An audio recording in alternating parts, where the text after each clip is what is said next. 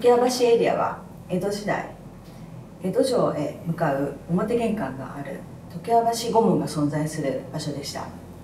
現在は東京駅日本橋口の目の前に位置しています。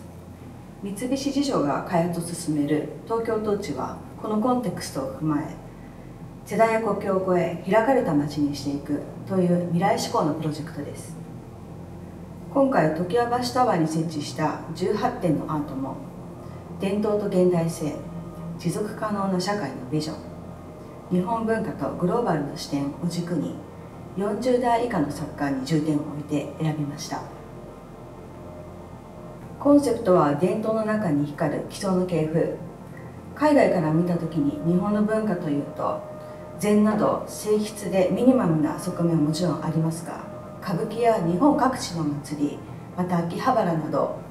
エキセントリックで鮮烈でどこか異次元の感覚を喚起する動的な側面ももちろんあります。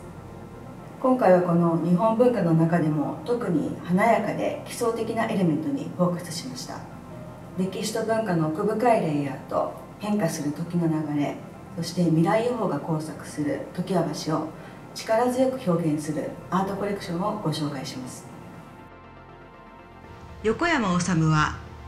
竹工芸の基礎の上に宇宙的と言ってもいいくらい斬新な造形を作り出します。曲げられた竹ひごが作り出すラインを目で追っていくと空を飛ぶ飛行体が描く奇跡や重力の違うどこかの惑星で組み立てられた建物を見ているような気分になるでしょう。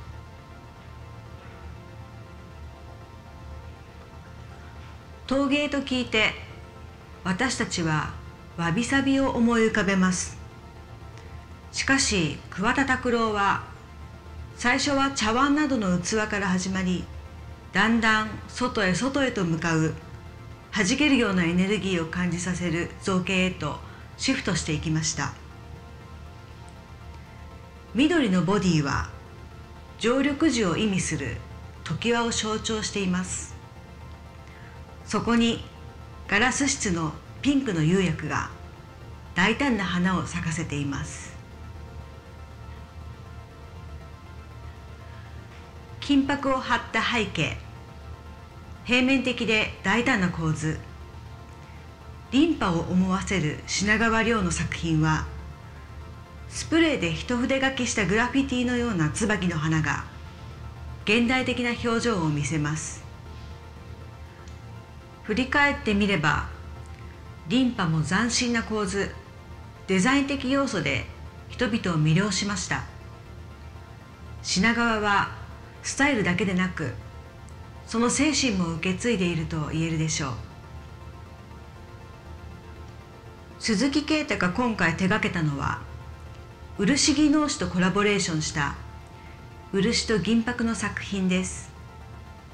モチーフは常盤橋建設と同時期に建設された江戸城の石垣。この石垣には実に多くの刻印があり全体が多くの異なる人々により作られたことがわかるそうです。そして石垣に苔が生えるように漆とともに金箔の模様も時間をかけて変化していきます。ニューライトポタリーはガラス職人との共同によって照明の組作品を制作しました。色のバリエーションは江戸時代から明治時代にかけて盛んになった浮世絵の緑や赤藍色や浅黄色を参照しています。また単色で構成するのではなく色ガラスを複数重ね複雑な色の変化を導き出しました。伝統の技の上に新しい変化の時代を表現しています。常盤橋タワーは江戸切子や寄木細工などの衣装を取り入れています。建築との接続を図るため幾何学的な模様のある作品もいくつか取り上げました。絵の具を丁寧に何層も重ねて作られるワンイの絵画の表面はツヤツヤです。それは私たちの周囲に広がる都市の情景とも重なります。表面的にはつるっとして見える都市もそれぞれ異なる複数の人たちが一緒に住んでいるのです。一見立体的に見えるような絵画ですが近づいてみると平面であることがわかります。吉野桃は折り紙をモチーフに騙し絵の技法でこれらの作品を作ります。一枚の平面である紙が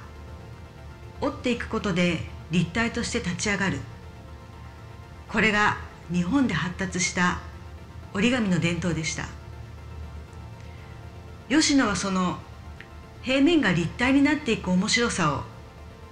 もう一度平面の絵画に仕立て直すことで強く印象づけるのです。グラフィックデザイナーアートディレクターとして活躍する木々が手掛けたロビーから商業エリアへ通じる通路の大きなステンドグラスは江戸の文化として親しまれてきた。江戸駒がテーマとなっています。シャープで粋なリズムを作り出す幾何学的衣装の中に皿回し芸人や大蛇杯のモチーフがあしらわれ昼と夜を通してにぎわいを見せる常盤橋の雰囲気が表されています。青金四角三角丸。荒牧遥はシンプルな色と形を組み合わせてユニットを作りさらにそのユニットを壁面に数多く並べ大きな絵画を作り出しました。一つ一つのユニットも字を塗り残すことで描かれていないところが前の方に立ち上がってきます。角度や向き色の構成などを調整することで見え方が変わる。物事を見る視点を変えてみることの大切さを訴えています。メタリックな輝きを持つ大場大輔の絵画はホログラム顔料を取り入れて作られています。私たちが日常で見ている色彩や光と影は彼の絵画の中では姿を潜め全く異なった自然の法則が支配する世界になっています。この時間も空間もない光景を見るとき私たちの心は一旦リセットされ新鮮な感覚に満たされるでしょう。今回のプロジェクトでは持続可能性も一つの重要なミッションです。そこで環境や自然のエネルギーをモチーフにした作品を取り上げています。自由な流線が鮮やかなジョン・ヘリョンの作品は水や木の流れなど自然の中にある力の奇跡を思い起こさせます。今回の作品では同時に円を象徴する水引の形を連想させるでしょう。中国との交易をきっかけに日本で発達したとされるこの結びの文化が変化する LED ライトに照らされて現在そして未来の印象へと合わさっていきます。一枚の動きが隣へと伝わり白い面から金色の面へまた金色の面から白い面へと次々にひっくり返っていく丹治への動く彫刻作品です。永遠に寄せでは返す波のようでもありまた人から人へと伝播していく情報や感情の流れのようでもあります。じっと見ていると自然の摂理というものへ思いが至る瞑想的な作品です。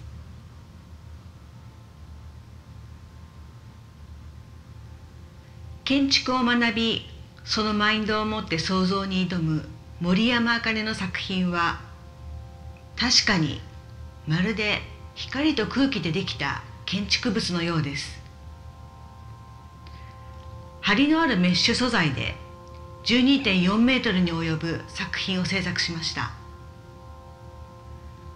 京都の染色職人と共同し青から黄色オレンジへと移ろう美しいグラデーションを実現。優しい光がそこにとどまっているような不思議な存在が